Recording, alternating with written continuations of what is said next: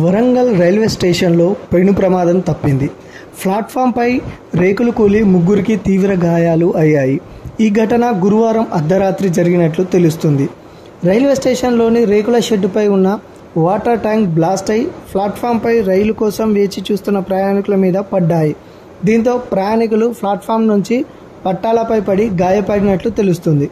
కాగా పట్టాలపై పడిన సమయంలో ఎలాంటి రైలు రాకపోవడంతో పెను ప్రమాదం తప్పిందని లేకపోతే చాలామంది మృతి చెందేవారని ఈ ఘటన చూసిన వారు చెబుతున్నారు. ఈ ప్రమాదంలో గాయపడిన వారిలో కిషన్ రావు రామబ్రహ్మం అనే వృద్ధులతో పాటు హరీష్ అనే యువకుడు ఉన్నారు. వీరిని చికిత్స నిమిత్తం ఎంజం ఆసుపత్రికి తరలించారు.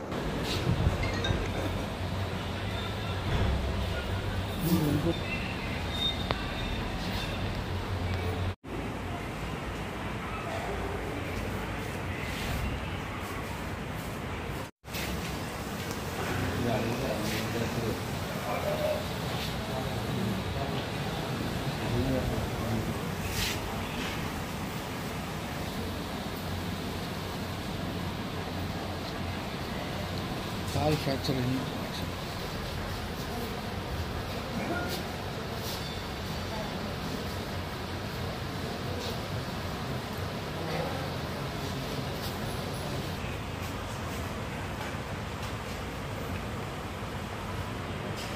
కీర్తిరాజా.